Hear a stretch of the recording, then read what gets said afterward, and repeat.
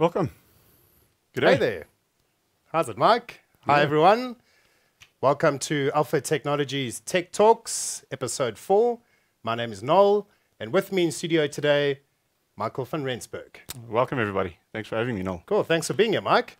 So, today we will be discussing the Biamp range of Parlé microphones. Michael, what are Parlé microphones and what makes them so special? Well, I think it's uh, all in the name, actually, Noel. Parlé means speak. Oh, Right. look at that. It's literally what, what the translation means, or Okay. to discuss, right? Ah, So this is a range of, of uh, conferencing microphones that Biamp has developed, and uh, they've been available for, I think, about two and a bit years now. And they are based on beam forming and beam tracking technologies. oh, wow. Wonderful. Okay. Um, so, what styles are these microphones available in? Do they come in different shapes and sizes? Yeah, for sure, for sure. And we've got a couple of slides that we can that we can show everybody. So Nice. um, there's a there's a three different options, three different main styles available. Okay. The first ones are uh, a ceiling type mic, which is the TCMX. All right. Then there's a table type mic, TTMX, and then lastly there's also a pendant microphone, which is uh, the TCM1. And that's basically like your typical golf ball mic that Mhm. hangs a little bit uh, down from the ceiling. Now the TCM uh, TCMX and TTMX, the seating and table mics, we refer to them as the flat mics, and they sit flush on the ceiling or flush on the table. Beautiful. And they look good as well, hey? Not your standard, usual little round things that you, No. that you And usually see. And and they have a couple of nice features. They've got an LED ring to show their, their status, so a red for uh, muted or off, and a green status or a green ring to show that the mic is active and, and on Oh, wonderful. well. So they, they look very stylish. And then again, of course, they come in white and black options, so you can choose a color that matches more towards the, the table or the ceiling, black or white in that case, so that maybe fits into into the room's uh, decor. Oh, nice. Black and white. Can't go wrong with those colors. Awesome. So let's get into some details with regards to these microphones. Hey, Mike. Talk us through the Parlé TCMX ceiling mounted microphone. Yes. So the the TCMX is the newer generation, um, and the TTMX as well. The TCM1 was the, the, the first generation. Okay. So a couple of differences between TCMX and TTMX is that TCMX um, basically has four zones of pickup. So once you've installed it into the ceiling, it will basically have four 90 degree zones that the mic will track and form a beam, as we mentioned earlier, towards uh, the participant. So it, it normally picks the loudest voice in, in each of those quadrants um, by some complicated algorithms that Biamp has now written for it okay. and a few technologies they've built into into how the mic responds and works with the DSPs, with the Tesira um, range of audio DSPs. And they basically then work out in each zone which is the loudest, and it'll start tracking that that voice. So even if you were to get up and, and walk around the room, and this is the same for all all the versions of the of the Parlé mics, okay. you could pretty much walk around or or move a little bit in the room, and, and it will actually track where you are stationed or where you are seated uh, or moving in that case. Holy cow. How cool is that? Okay, so tell us about the TCM XA microphone. So as we mentioned, there's the, the TCM-X and TCM-XA that you just mentioned. Now, Yeah. how most of the mics work, all the mics work, there's a plenum box, mm-hmm. and the TCM-X plenum box can fit two TCM-X mics, and the TCM-XA plenum box can fit two TCM mics, plus it has a two-channel built-in amplifier. So Cool. Cool. this this starts making it a, a, a more centralized single cable solution. You'll basically have one cable from your uh, DSP running AVB to the TCM-X plenum box, and from there you'll pick up your two microphones. Who again, and this is all CAT cable, right? So it's all easy CAT cable connections.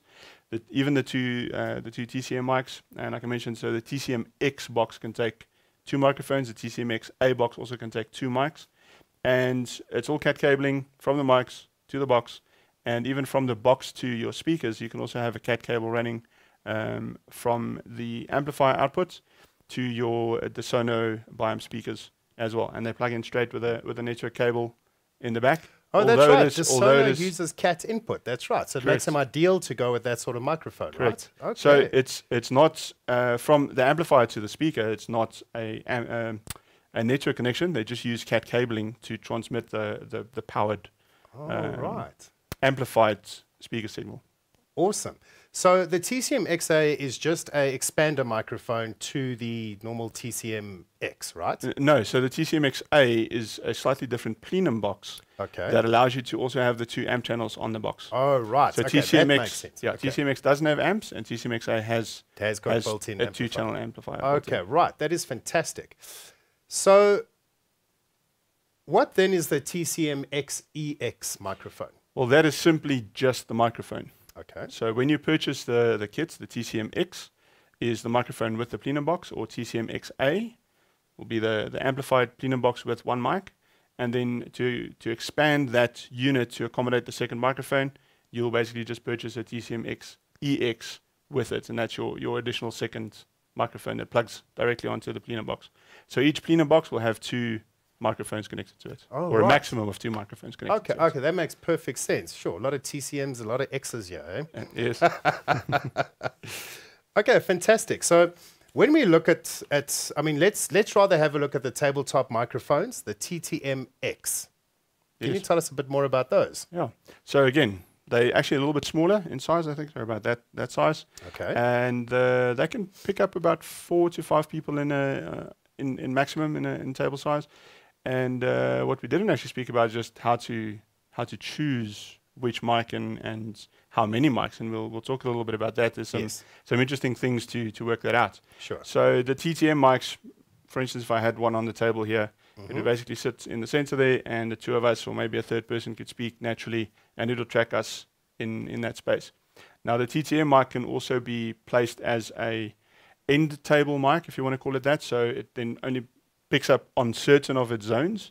Um, and uh, you can also set it up to actually pick up omnidirectional M waves. So Okay. the XEX versions of TCM and TTM, that's pretty just pretty much just the microphone as a, as in a separate extender. Okay, so would, would it be safe to assume that the EX refers to it being an expander microphone? Correct, correct. Okay, Yes. fantastic. But there's uh, maybe another thing we can mention Yeah. uh, on that point. You can also use the TCM-X EX and the TCA, TTM-X EX mics on the Devio platform. So they're Ah. not just dedicated to the Tesira platform, they also actually work on the Devio mic platform as well. Oh, beautiful. We will be covering Devio one of these days, so hit like and subscribe because Devio is something we will be covering. Good. Fantastic, Mike. Thank you so much for that. So I also want to ask about the TCM1A. I mean the TCM1, my apologies, the pendant microphone. So like where would that be used and what is its primary use in that space? Yeah, so um, we'll get into a little bit more of the of the technicality of which mics and, and how to choose them.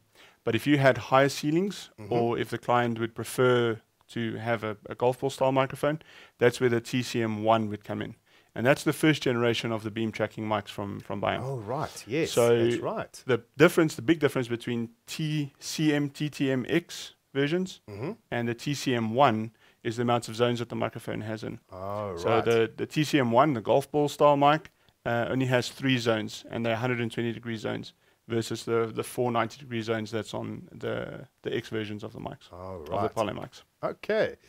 So again, when we refer to TCM1A, is that like an expander to the TCM1? Well, same as the TCMX and, and, and TCM, uh, TTMX, the A version is an amplified version of the plenum box. Oh, so the A stands for amplifier. Correct. Okay, Correct. got it. And then similarly, there's the TCMX, uh, TCM1EX, which is also again an extender microphone that fits onto the uh, the TCM1.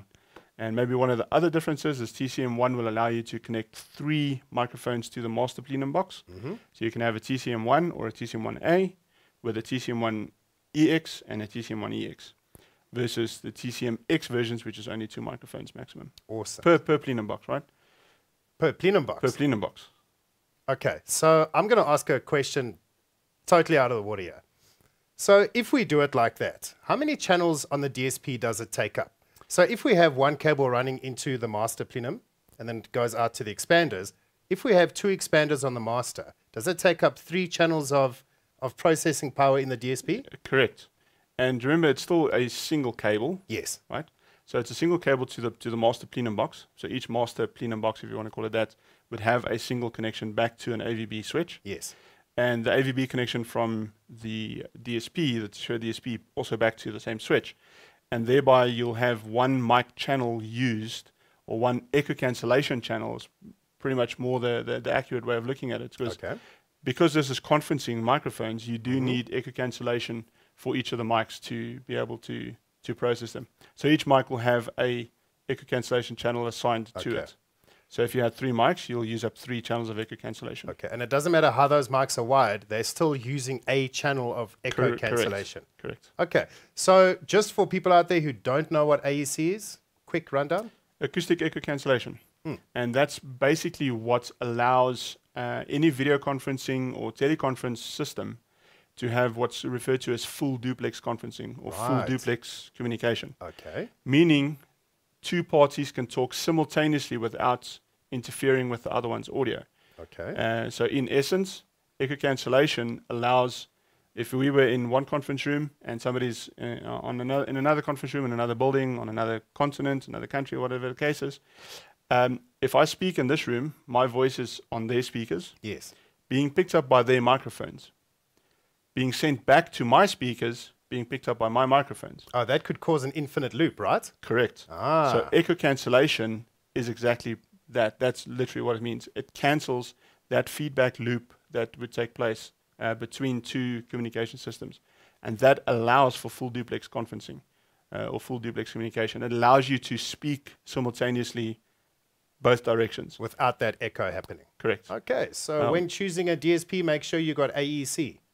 Correct. Awesome. Now, just to expand on that, half Hmm. duplex would be like a walkie-talkie, for instance, or a or a two-way communication radio. You would press a button, speak, release the button. It would be transmitted to to that person in that in that sequence. When that person's then ready to speak, when you've released your button, they press the button and they speak back. That's half duplex. Oh, so old school. Lovely. Thanks for that, Mike. I'm sure a lot of people there don't know what it is, but awesome. Now we do. So I'm going to ask a really simple question now. On these Parlé microphones, what is the pickup range? So that's where the the calculator tool comes in. Ah, is there a calculator tool available There- for everyone? There is one, yes. Okay. Uh, on Biamp's uh, Cornerstone webpage, uh, if you just search into into any of your search engines, uh, Biamp Parlé My Calculator, Mhm. you'll actually get the, the, the links to each of the different calculators. So there's Oh. a different calculator for each of the mics, for the ceiling and the table mics. We'll drop that in the comments for you guys to look at later. And basically, it's, um, it allows you to design the room of the, the, the size of the room, Mm-hmm. the heights. You can even adjust some of the acoustic properties in the room because that also affects how wide the microphones will pick up. Oh, so there's yes, a few settings you need to just place into the calculator tool, and it will tell you how many mics, more or less where to place them, uh, how far they'll pick up, and there's even a bit of a simulation in there that you can listen to, to what that room would sound like based on the acoustic information that you've provided. So Wow. fair, good, Wow, poor acoustics, uh, excellent acoustics, whatever the case is. That is really cool. So that little calculator actually makes it really easy for like an installer to just quickly sort of on the fly calculate how many mics he needs based on the dimensions of the room, the acoustics and the ceiling height. Correct. Beautiful. Yes. And you can then obviously select which one you know. Do you want table mics, ceiling mics, pendant mics, whatever the case is. You select the one that you that you want to start with and look at, and uh, you put in the dimensions of the room and the acoustics and say calculate. Okay. Simple as that. Okay, great. So the pickup range is designed more around the, the shape and the acoustics of the room. So it's not like a normal microphone where it has a pickup range of X. This here, it's actually set according to the parameters of the room that it's working in. Correct. Okay. Correct. Because the beam forming and beam tracking, and we didn't really speak much about about the details of that. Yes. but it's exactly what it means. So it basically shapes the way that the the pickup of the microphone functions based on the acoustics of the of the room, Oh. and then it sort of directs that beam. So it first shapes it and then directs the beam to where the source is coming from. Okay, so so just to sort of round that off, so when the microphone has a 360 degree coverage, all right, then it, it hears someone talking. It will take that energy that it was using for 360 degree coverage, now shape it and focus it on the person talking. Well, yes, but per zone, remember, because there's there's four zones or three zones on the mic. Yes, So correct. in each zone, it would calculate where's the loudest part, shape the, the, the pickup pattern of the microphone, Okay. point it towards that direction, and if it moves, it will it will start following, tracking it. Okay, so if I move from one zone to the next, that second zone then obviously does the same thing. It recalculates that he's coming from there, and it doesn't worry about the previous zone. It now moves into its own zone, and it just focuses that beam on the person talking. Correct. This is beautiful technology. Correct. I don't know how microphones don't use this. Then we don't have to worry about pickups and patterns and this and that, right? Yeah. That's amazing. Okay, so let's chat a bit about AVB. So I know that AVB is the protocol that this uses, but for the guys out there who don't know what AVB is, can you give us a brief definition? So AVB stands for audio video bridging. And Okay. Biompus implemented AVB in their Tesira range of products. Um, uh, I, I, I like to use the word quite heavily, but it, it's pretty much, it runs on AVB. Yeah, it's almost like a standard for them. It, it is the standard for the Tesira system. So uh, most of the, the Tesira products, well, all the Tesira products works on the AVB protocol, um, the audio video, video bridging protocol. And they also even have some, some video devices as well that works on it. But the protocol is an open source protocol. All right. It was designed by the guys that write everything, uh, all, the, all the specifications for uh, anything and everything internet, the IEEE. oh, yes, I've heard that before. Correct. Yes. And that, so AVB is an 802.1 standard. Okay. The same as what any networking standards would, would be that falls under the 802.1 categories. Uh, it is a standard.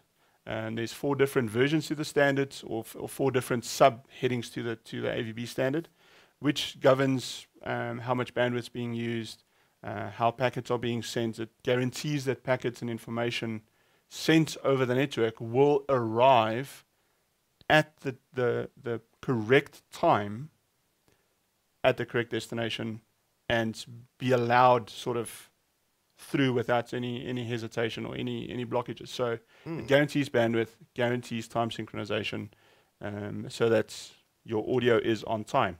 If you think about um, audio in that sense or, or video, Yes.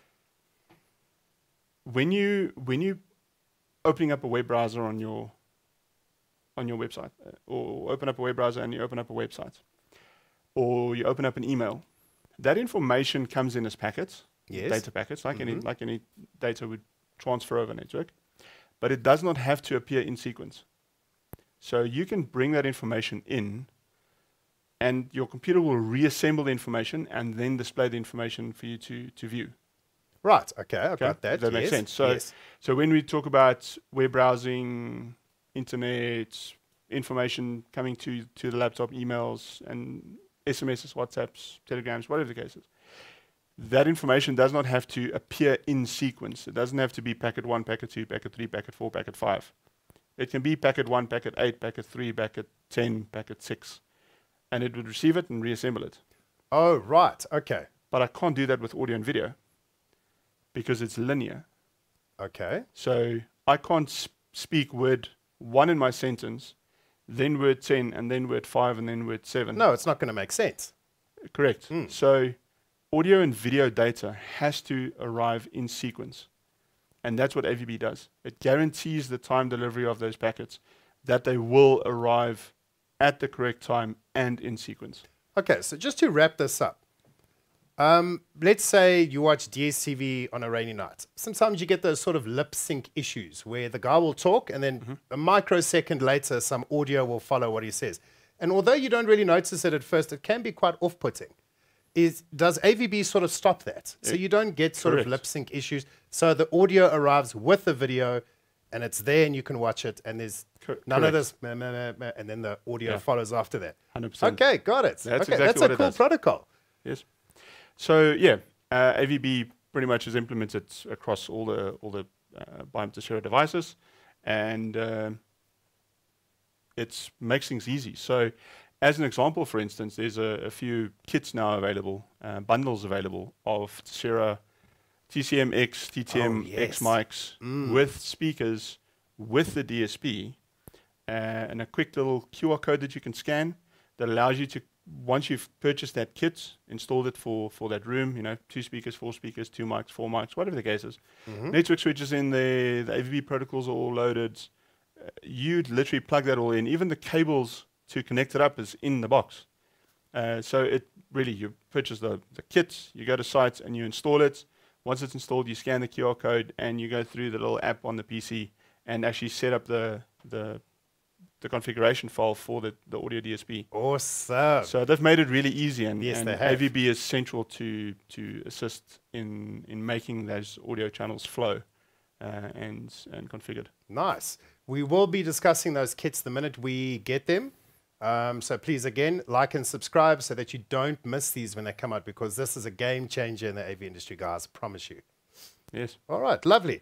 So, how do we get AVB within a network? What are the sort of prerequisites for an AVB network? So AVB is still available only on selected switches as a protocol, uh, because the switch manufacturer has to write the protocol to f- to work on the network switches, and uh, so you have to have a switch that is AVB capable, Right. and then you load the AVB license on it. So, for instance, the TCM X range of uh, um, TC5 range of of uh, network switches from Biamp, yes. uh, the Connect um, range. They five five port switches with four ports of PoE. All five ports have AVB on them already, and those are the ones that are included in the kit. And All right. Okay. they will pretty much allow you the AVB communication directly out of the box without any f- configurations. So that is a switch dedicated for AVB. Okay. So let's say we don't want to use the Biamp Connect. Can we use another brand? Yes, there's Maybe Netgear. There is definitely. Oh, okay. Um, Netgear actually has recently announced a whole new range of a dedicated AV switches. Ah, I see. See. Right. Dedicated, right? Correct. And those dedicated switches will pretty much support almost any of the audio and video protocols that we have in the industry today. Uh, they've been designed to support all those protocols. So that's a, a dedicated range of switch. Ah, Um, I beautiful. think it's called the M series um, switches. Nice. Definitely So- need to check that out. You can definitely. Okay, so I know this might be a bit of a dumb question, but I'm going to ask it anyway. What makes AVB different to Dante? The fact that it's an open-based protocol Okay.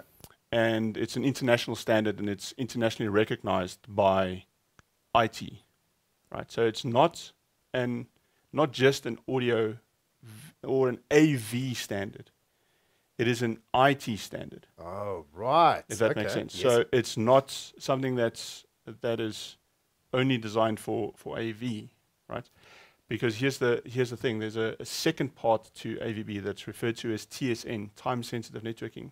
oh, okay. Because the same way that we say with audio and video, we want dedicated packets to arrive at certain time. There's certain other processes that are also required. And therefore, TS, the TSN side, the time sensitive networking side of AVB, also allows for those other processes and other uh, things to take place at dedicated times. Right. And that's the big difference. AVB is not just an A- AV protocol for our industry for audio and video. It is an IT standard.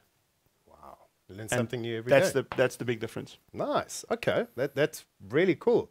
So I also want to find out, okay, so now we have an, an AVB set up on the go. It's been installed. Hmm. We have a boardroom with all AVB going, and our switch is quite far away. So do we have a, a a distance limitation on the CAT cable that we use with AVB networks? Definitely. And Okay. that distance limitation is quite simple. All right. It is a network distance limitation, Right. which is 330 feet or 100 meters. And that's standard CAT cabling for network protocol. Okay. So that's not an AVB limitation. That's a network So protocol network, limitation. network limitation. Okay. correct. All right. Yeah. So remember that, guys. Please can't go wrap yourself around the earth with all that cable. okay, that is actually really cool. I didn't know that. Um, another question I also wanted to ask: um, Are there Parlé mics when they've installed and the system is running? Are they always on? Can you switch them off? Or, as an example, I've just had a meeting and I've shut down my computer, my system, and I leave. And now somebody else wants to come in and have a private meeting without a computer. Mm-hmm. Is there a way to shut those microphones off automatically? Do they shut off automatically, or, or how does that work? Is it programming within the DSP? Yeah, this the short answer is what would you like them to do? Oh, Because we can program the DSP to to do various functions. okay. So when the, the red LED is on on the mic, it means the mic is muted, which means it will not actually transmit its audio to somewhere. In terms of it being on all the time, well, yes, as long as the DSP and the network switch is on and is providing PoE to the plenum box that powers the, the system, then the mic is on. Okay. Right? It is in, in, an, in a, a powered up state. Oh, I see. Okay. But depending on how the conference room or the meeting room, boardroom has been set up, it would depend whether the mic is actually transmitting its audio to somewhere or not. Ah, you see that that I think is is what we're looking for. Okay, so if the mic is on green and it shows that it's on, does that mean it is transmitting to somewhere? Not necessarily, Okay. because if you're setting it up as a conferencing mic for a VC or a TC conference, Yeah. uh, teleconference or a video video conference, then you have to be in the video conference for the information that's being captured by the mic, the sound being captured, to actually be transmitted to the other side of the of the call. Right. Okay. Uh, because how we set the DSPs up is that the mic information only goes to the far side of the of that call. Okay. Uh, that's why I said it depends on what the setup of the of the system Okay. is. So I think the simple way would just to use like maybe a tech one, switch it on and off when you walk, you walk into the room. That's the, by far the easiest way. As you press switch it off, the microphone goes red to show you that it's off. It's not picking up anything. It's not transmitting anything. Correct. Switch it on, picks up and it transmits. Correct. Okay. Cool. And that is a mute on mute off state in, in its simplest form. Okay. All right. Okay. Pretty easy. All right. Um, so, lastly, the spacing between the microphones. How do we calculate that spacing? Well, again, that comes back down to the calculation tool. Okay. It will determine what the spacing of the mic should be based on the information you've inputted into the calculation tool. Right. Okay. So if you if you know that your room acoustics are pretty good, um, then it would probably start spacing the mics a little bit a little bit far further apart, um, based on those room acoustics. Now, as an example, uh, if you can imagine how what the size of a 24 seater boardroom is, Mhm. we've managed to do very successful setups with our clients of two microphones, two TCM X microphones, so the ceiling mics, in a boardroom covering 24 people. Two microphones covering 24 people. Correct. Wow. Yeah. But that's Oof, good room acoustics and uh, a good setup of the system. Yeah, sort of like ideal. Yes. Ideal. Okay, understood. Okay, well, that still that's pretty cool. All right. Um, so, lastly, I just want to wrap this up for everyone watching. The heart of this whole system is the BIAMP DSP. So all the programming and everything is handled within the DSP. Correct. And I remember seeing with uh, with uh, um, one of our staff members here while they were programming it, we had a little block on screen, and we could see how the microphone tracks the person as they walk around the table. So all of that is handled within the DSP software. Correct. Okay. 100%. Yeah. So the the Tesira um, software package Mm-hmm. that you use to configure the DSP, I always explain it this way: the DSP is like a computer without an operating system, Okay. Or a computer with with a BIOS but no operating system. Okay, makes sense. You have to load the operating system, and in this case, the operating system would be the Tesira design file. okay. that links the input blocks to the output blocks through the different forms and, and blocks of processing that you want to that you want to achieve. Uh, mixing them, uh, compressors, limiters, equalizers, gates, whatever you want to program with it. Because again, the Tesira platform or the Tesira DSPs are open architecture. So you can place whichever DSP processing block you want to place Mhm. anywhere in the signal chain from the input to the output All right. and that configuration file gets loaded onto the DSP um, or the computer then, Okay. and that's what then dictates what happens. So yes, the the Tesira Forte DSP or the Tesira um, server DSP, hmm those are the brains. They Okay. they control what what happens and what takes place. So they will need a Tesira Forte DSP or server in order for these microphones to work correctly on an AVB network. Correct, Got hundred percent. And that's again where the bundles come in. Mm-hmm. The bundles include the DSP, the switch, the microphones, the cables, uh, all the stuff. Even a hole saw to cut the hole in the ceiling to fit the mic into the ceiling. Ah, free stuff. And That's uh, actually quite genius of BIAMP, I would say. yeah. And lastly, what I can mention about the Mhm. bundles, and it specifically pertains to the bundles, to the Okay. the, the Parlé uh, or the Tesira uh, DSP bundles. Um, you'll see actually on the Microsoft Team Store, the Microsoft Store, there are bundles to buy Tesira bundles on there, and those bundles are actually Teams certified. Ah, team certified. Correct. So they Yes. Went through the whole process and they are actually certified to work on, on teams as a complete kit. Wonderful. Okay, so we will show a video of that coming up as well um, at a later stage. But for now, thank you very much for watching. Michael, thank you for very, very much for joining me in studio today. Really good to have you again. Guys, please like the video, subscribe to our YouTube channel because we will do unboxings of those bundles that come in. And believe me, guys, you'll be blown away. So please like and subscribe uh, on our YouTube channel. Also, head over to our uh, Alpha Tec websites, www.alpha-tec.co.za. Click on the training tab, and you'll see a whole bunch of previous videos we've done there as well. Please enjoy, guys. From me, thank you very much. Thank you, Michael. Thank you, Noel. Thanks for having me again. Pleasure. Thanks, guys. See you soon. See you soon.